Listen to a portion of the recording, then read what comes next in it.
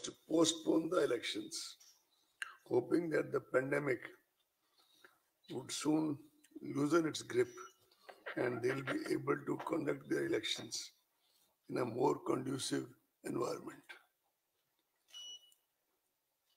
More than 70 countries postponed the elections.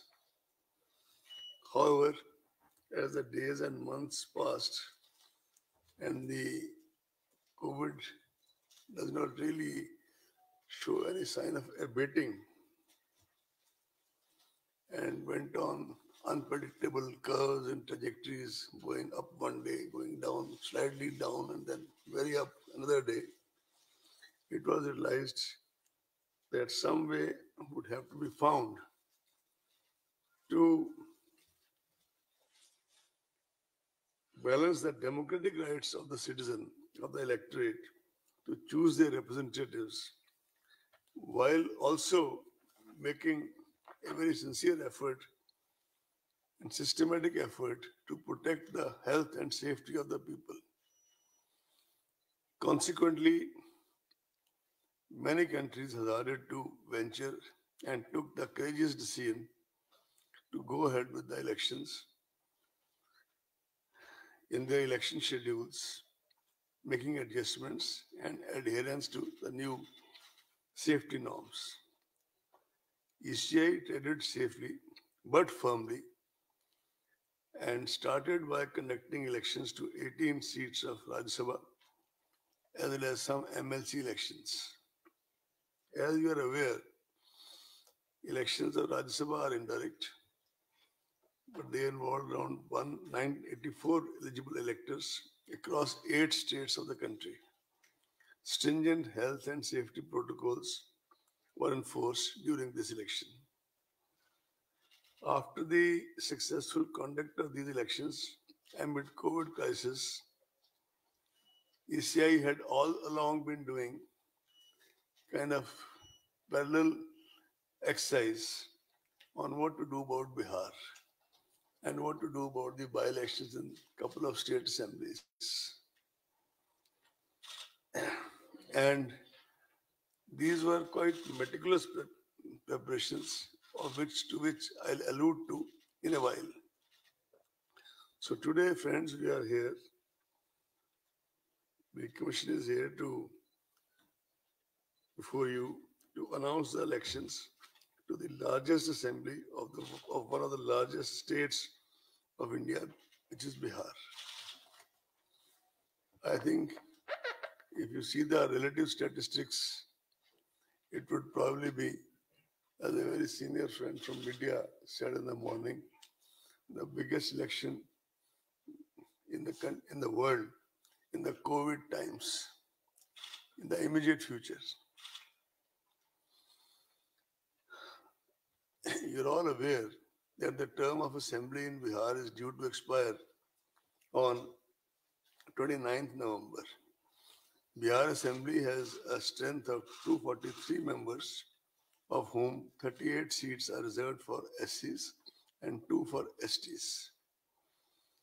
COVID 19 exigencies and social distancing measures made the Commission revisit the ex- extant instructions. One of the first major steps which was taken uh, was to reduce the maximum number of electors at a polling station from 1,500 to 1,000.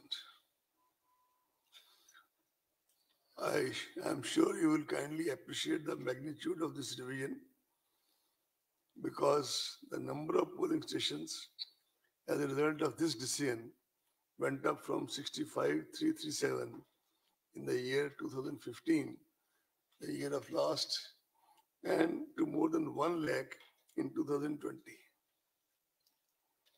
This massive increase in the number of polling stations entails huge logistic and manpower implications.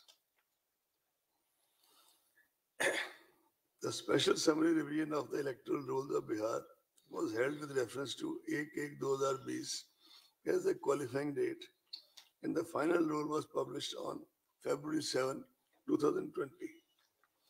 The total electors in Bihar during 2015, when the last assembly elections were conducted, was 67 million.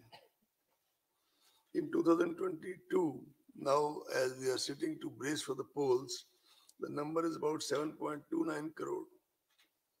It is 72 million. Male electors in 2015 were 3.57 crore, which has now risen to 3.85 crore. Number of female electors was 3.12 crore in 2015, and now it is 3.4 crore. The number of service electors rose from 92,144 to 1.6 lakhs.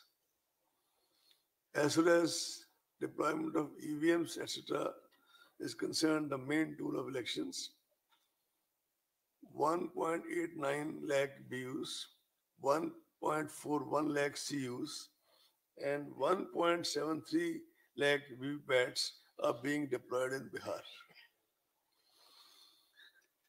To give you further glimpse of the magnitude of logistics to conduct elections during COVID, as per report received from CEO Bihar, incidentally, we all have had series of interactions with the CEO and other officials of Bihar on a virtual basis, on which I'll come to in some more detail later. More than 7 lakh units of hand sanitizers, about 46 lakh masks, about 6 lakh PPE kits, 7.6 lakh units of face shields, and about 23 lakh hand gloves have been arranged. For the voters, that is 77.2 crore single use hand gloves have been specifically arranged when they press the EVM, etc. As per reports received from the field units and collated by CEO Bihar, there were about 18.87 lakh migrants across 38 districts of Bihar. Out of these, 16.6 lakh were eligible to vote, being more than 18 years. 13.93 lakh had their names already on the rolls.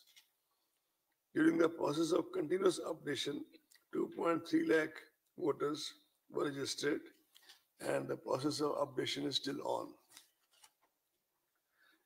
I would take this opportunity to compliment CEO Bihar, the district election officers there, and the election machinery at the district and sub-district level that they made assiduous efforts to connect with so many migrant workers in the process of registration.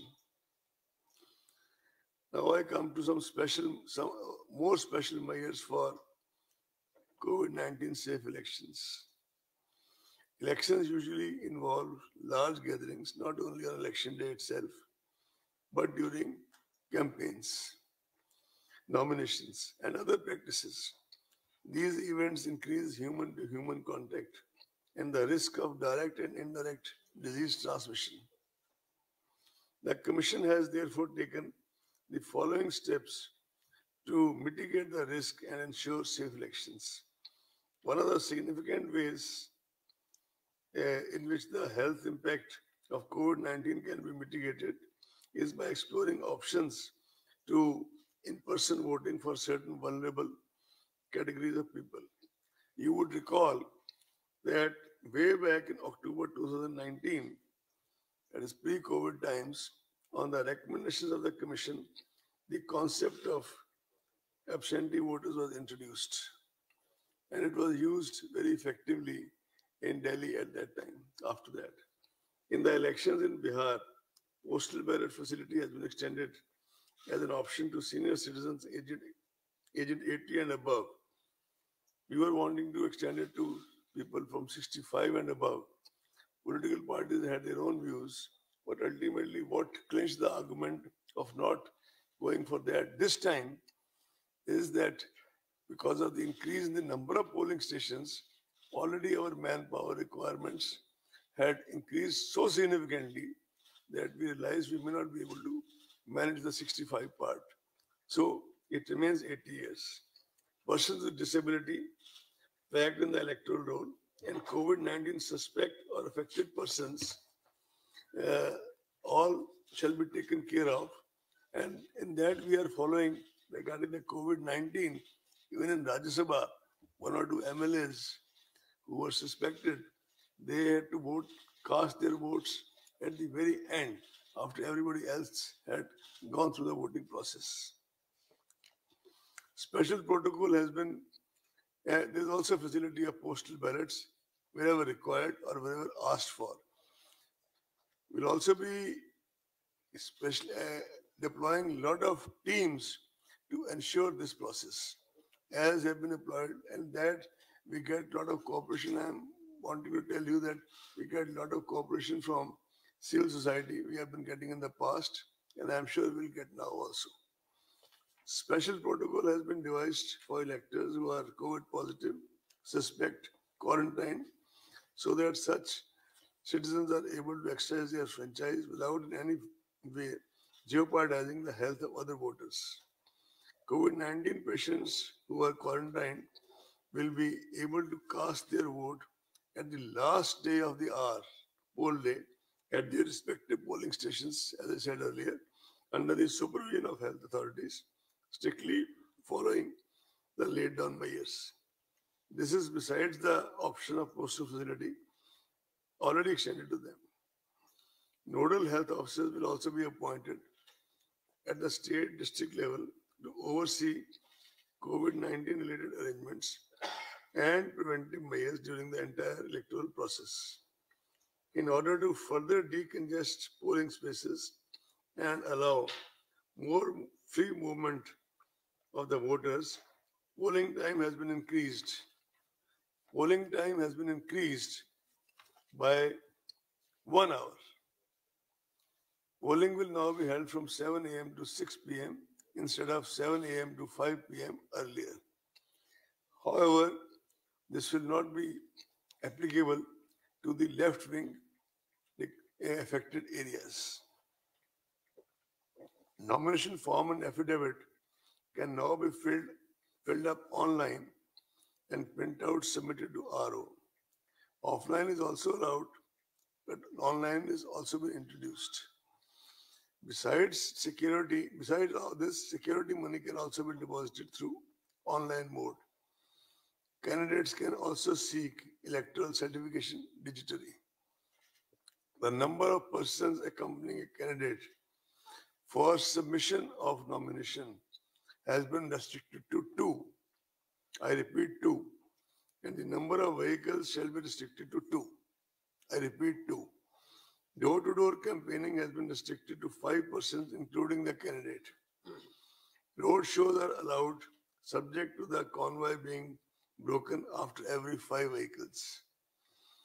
All election meetings and gatherings will have to adhere strictly to the health and safety protocols and shall be monitored at all levels by the election and health machinery in the field in the various districts of Bihar. I want to dispel doubts, friends, that all physical contact has been prohibited in election meetings and campaigning. In fact, the very fact that instead of talking to each other virtually today, we may not be accommodate all of you, but we still have made an effort to at least talk in person. Is, all, is an indication from the side of election commission that all this propaganda going on in certain sections that only virtual campaigning will happen, etc., etc., has not been has been quite widely off the mark. Yes, we have stated that the number of people who can decongest at a certain who can congregate at a certain place has been limited.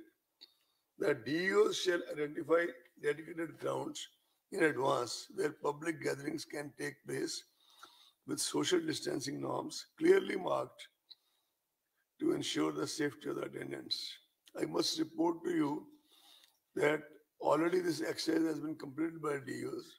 In fact, even within the commission now, we have a list of such grounds available district-wise, although this is not for the commission to kind of take any kind of day-to-day call on this. It is for the CEO and the district magistrates. But we've got all the information. And the DEOs have been instructed to kind of already do the circling, etc., as per the COVID norms. That has been done by the CEO of Bihar. A committee of officers was set up at the commission to chalk, chalk out broad guidelines for conducting elections amid COVID. This committee was chaired by Shri Umesh Secretary General. And it had various stakeholders, many of them contacted virtually.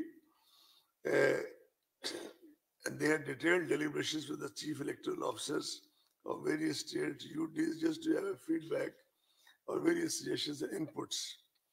The commission also took inputs of political parties. They were initially given some time. They wanted some more time, which was extended as they desired. And the commission has a feedback from all the political parties with us, considering all the relevant factors and circumstances and keeping in view the safety norms specified by MHA, broad and detailed guidelines were issued by the Commission for the conduct of elections and by-elections during sometime in August 2020. These guidelines have already been adopted to Government of Bihar and these guidelines are available on the ECI website and I think made available to most of you uh, from by. Based on these broad guidelines, CEO Bihar was asked to prepare comprehensive plans at the state, district, constituency, and booth level, considering the local conditions and COVID conditions and COVID situation. And these guidelines establish standard protocols of sanitization, wearing of masks, use of gloves, thermal scanners, and social distancing throughout the gamut of election activities. As the gradual and phased lockout, unlock has been initiated in various parts of the country, several meetings were held, as I said earlier, at the level of Secretary General ECI Shri Umesh Sinha and our, all other colleagues from ECI and officers of commission with officials from MHA, railways, central agencies, regarding security forces, strategic and communication measures to be put in place. I am happy to report to you that we are getting fullest cooperation from all these agencies, and I am sure, like they do it always, they'll give us their cooperation this time also, which they're already extending. The Commission has conducted several rounds of video conferences with the election machinery a team of two officers, namely Shri Chandrabhushan, who is in charge of uh, Bihar in the uh, election commission, and Shri Sudeep Jain, who looks after the EVM. They were in Bihar on 14th and 15th September, and they have done extensive review of the situation on the ground by holding more than one meetings in Patna as well as in some selected divisional headquarters. They have reported that all necessary preparations have been made and the infrastructure of conduct of elections is well, is well in place. Commission, as you are aware, has always been very sensitive to the persons with disability and senior citizens. We started this process way back in 1718 by having a conference in Rajasthan, then a national level conference in Delhi. And after that, we have been trying to uh, kind of upgrade and try to do various things required for that.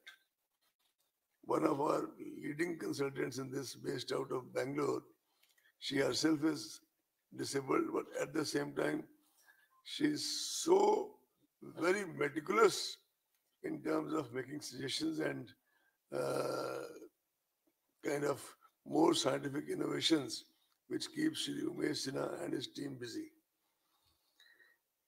Persons with disability, the first thing Commission has been insisting is that all polling stations should be located on the ground floor.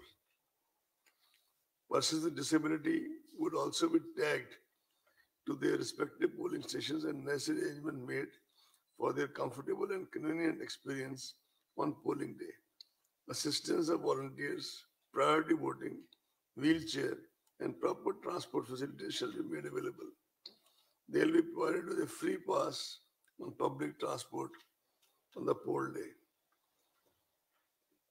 The third meeting of the National Advisory Committee on Accessible Elections was organized recently through online mode in order to hone up and firm up our strategic action plans on accessible elections and to review preparations on accessibility front in front uh, accessibility front ahead of Bihar Assembly elections.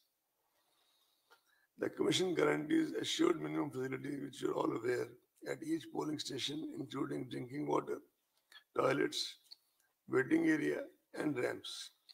Additionally, polling stations will now be infused with sanitizers, masks, soap, and water for rinsing and other necessary equipment to handle any health emergency. Volunteers will be deployed to assist PWD voters, senior citizens, and COVID affected areas, as I already said. All necessary and administrative and security protocols have been put in place for EVMs and VVPATs, including randomization, FLC, movement and storage protocols, and multi-layer security cover. The ETPBS facility will be offered to our service voters. As we talk, the MCC stands enforced uh, with this announcement. The Commission has already made elaborate arrangements for ensuring the effective implementation of MCC guidelines. You're also aware that Honorable Supreme Court, a lot of uh, uh, very vigilant citizen groups and the Commission itself have been very particular about this issue of criminal antecedents. Criminal candidates with criminal antecedents are required to publish information in this regard in newspapers and TV channels on three occasions during the campaign period. Now it's also mandatory for political parties to upload on their website detailed information regarding individuals with pending criminal cases selected as candidates, along with reasons for such selection, as also why other individuals without criminal antecedents could not be selected. The Commission had issued a circular, I'm sure you have all gone through it very thoroughly, on 11 September 2025, clarifying the earlier guidelines and updating them further. the Commission has a multi-pronged, multifaceted, comprehensive strategy for curbing the use of money power in elections through an elaborate mechanism of SSTs, FSTs, and expenditure accounting. Our friends in media are also aware that we have been appointing in the last few elections, wherever required, only where required and need-based, special expenditure observers. Depending on the inputs on the field, which you already have in plenty, we shall be doing the same this time in Bihar elections, as well as if required in the by-elections to the states. Media has always been a very important ally for the Commission by virtue of its very proactive and positive engagement and with the electoral process and reaching out to the voter through the length and breadth of the country. Media personnel covering election activities would be requested to follow all the extant guidelines issued by the Commission and the various state governments. The Bihar state government, in case of by-elections, various state governments. Adverse use of social media platforms has emerged as a new challenge in the recent times. As such, it is necessary that personal or organizations using, rather misusing social media or similar digital platforms are dealt with sternly and kept at bay. The Commission would like to make it emphatically clear that anyone who makes mischievous use of social media, for example, trying to foment communal tensions, etc., for electoral purpose, shall have to face the consequences under the law of the land. You're also aware that in the run up to the Lok Sabha elections, a group of our officers had engaged with the media platforms and their uh, association, and they had submitted a voluntary code of ethics to the ECI by their platforms, which most of them observed quite scrupulously. The social media platforms are expected to make adequate arrangements to safeguard against misuse of their platforms and set up strict protocols to handle such issues as and when they arise. If such arrangements are not made by them and they would not be allowed to take the pretext of being only the providers of platform and shall be held responsible if necessary action is not taken by them promptly and adequately. So, besides, Commission has also entreating the political parties and candidates to sensitize their representatives not to indulge in malpractices, malicious propaganda, hate speech, or fake news, as such acts shall be dealt with sternly, harshly by the Commission.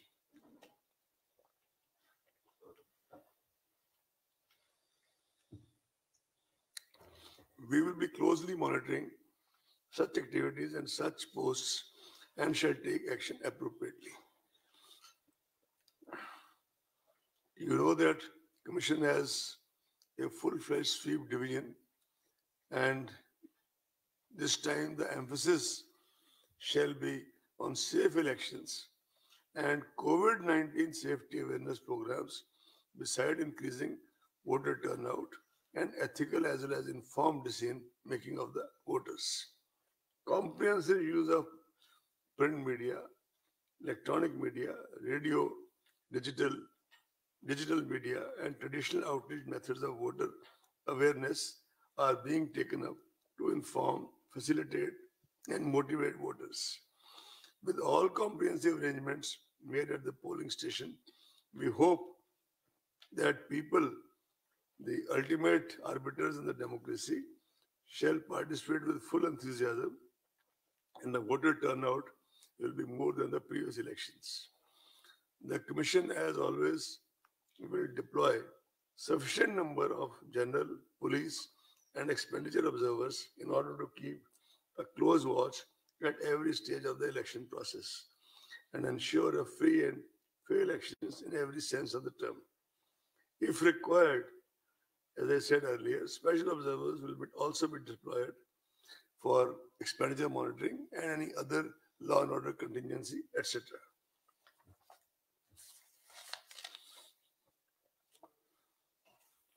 The Commission has tried to harmonize the integrating uh, integrating cutting edge technology in our election processes for the last five six years, and that process is an ongoing process. Applications like Booth app and C-Vigil have simplified procedures, made data available at the click of a button, and connected ECI to every stakeholder through their mobile services. Before I finally move on to announce the schedule for Bihar Assembly elections, I would like to tell you that the Commission took various factors into consideration while deciding the election schedule. Elections entail large-scale deployment and movement of security forces from various parts of the country, and we try to minimize their movement over long distances. This is both to reduce their body fatigue as well as to kind of reduce the travel time, etc., and make them feel fresh after a day or two of rest for the election duties. The prevailing COVID situation and sense necessity of social distancing was also kept in mind. Care was taken that the period of elections is not unnecessarily prolonged. Hence, we have shortened the period of conduct of elections and reduced the number of phases. The number of security forces has been increased manifold to ensure peaceful elections. Another factor which has been taken into consideration was the upcoming festival season uh, and convenience of our people. As far as the by-elections to the state assemblies are concerned, you see, we have received representations from CEOs and CEOs, chief secretaries and CEOs of at least three, four states, if not more, on various grounds, seeking some deferment in their by-elections. so Commission has kept a special meeting on the coming Tuesday, that is 29th of September, only to consider those representations, after which Shri Umesh Sinha shall issue the press release of by-elections. The schedule for elections for the Legislative Council of Bihar and Karnataka, teacher and graduate segments, which were deferred by the Commission earlier due to the unforeseen situation of public health emergency, etc., from on 8 June 20 shall also be announced today in a separate press release by Dharmender and Shri Umesh Sinha. This will cover four teacher and four graduate constituencies in Bihar. Karnataka elections will be held for two graduate and two teachers constituencies. One MLC election of deferred Nizamabad uh, constituency will also be announced for which all, except the actual poll, all other electoral steps uh, have been already concluded at the time of deferment will be announced today afternoon along with the other by-elections for the teachers and graduates.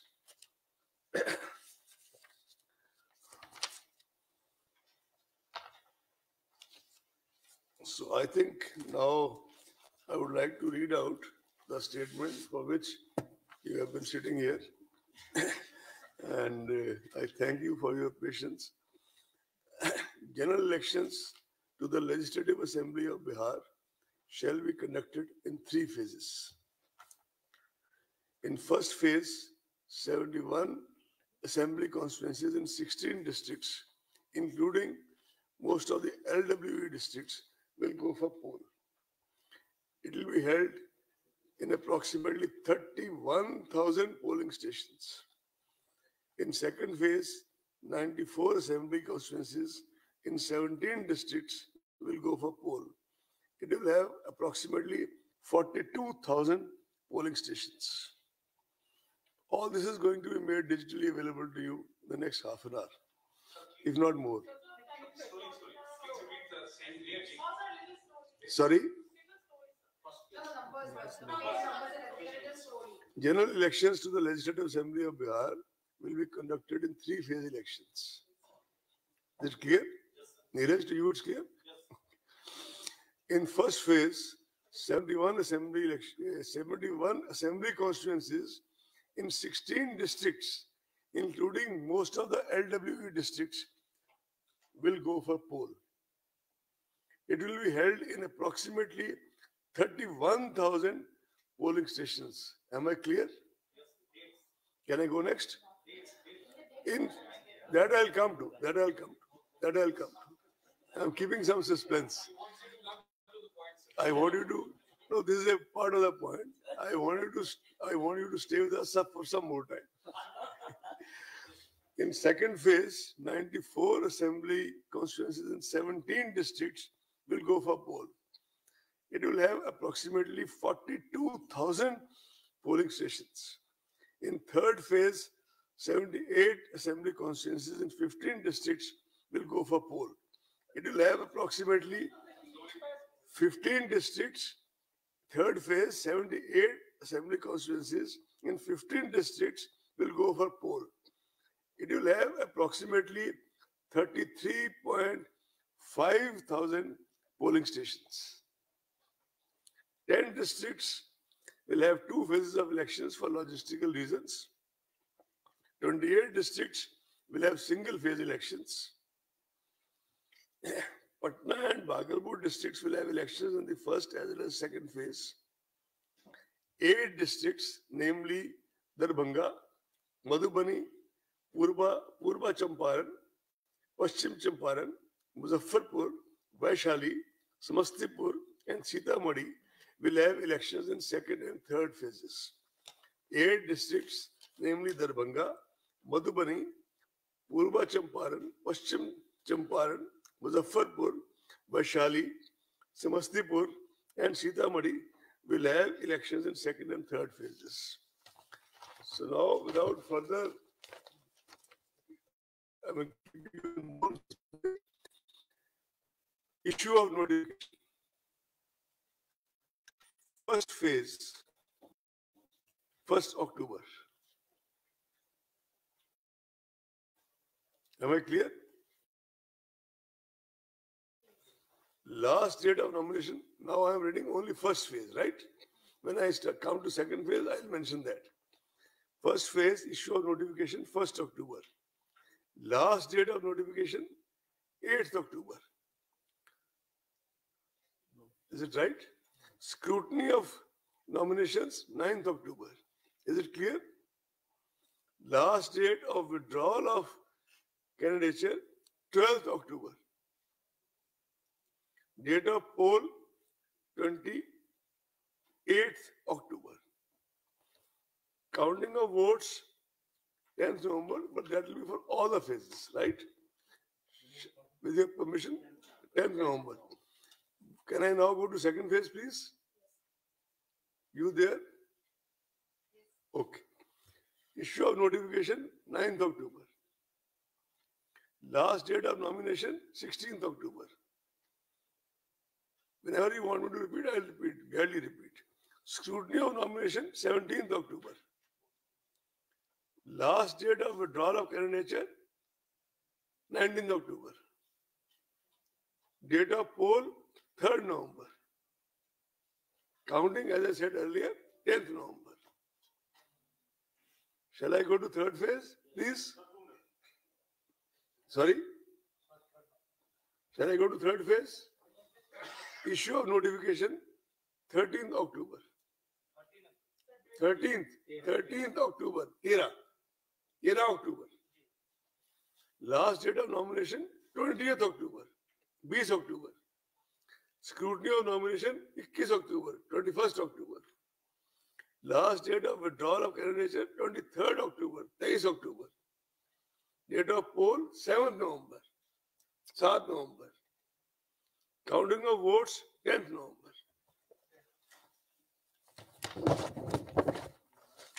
Now, I would throw the floor open Can for have your questions, please announce your name and organization before you.